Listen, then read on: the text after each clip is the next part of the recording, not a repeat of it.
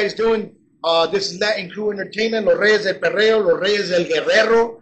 Uh, we're here at Bowling Green at the Ale House. What's up, Mike? Let them know what's Hey, going on, bud. What's going, bad boy?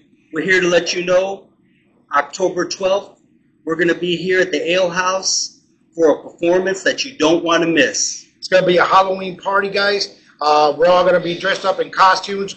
Uh, we're gonna have this place decked out. Uh, it's gonna be a free concert for everybody to come out and check us out. We're gonna be releasing our new reggaeton dembow hip hop album. You don't want to miss it. It's gonna be chronic, right, Mike? What's Yeah, up? It's fire. It's Yes. fire. All new styles, bringing you all the hot hotness you want to hear. Ya lo sabe, toda la gente que lo está mirando allá por todos lados, que vengan a, a apoyar todos nosotros los latinos aquí en Bowling Green, por favor, dalos un apoyo, dalos una mano, échale la mano a la gente aquí de Bowling Green. También, we also have something going on on September the 21st uh, in Toledo. We're going to be opening up for Draco.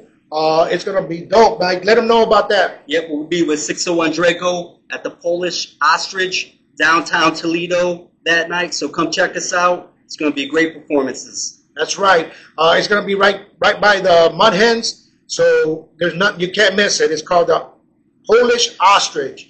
It's gonna be dope. You don't want to miss out. But if you do miss that date, we're gonna be here October the 12th. The party's gonna start at eight o'clock, guys.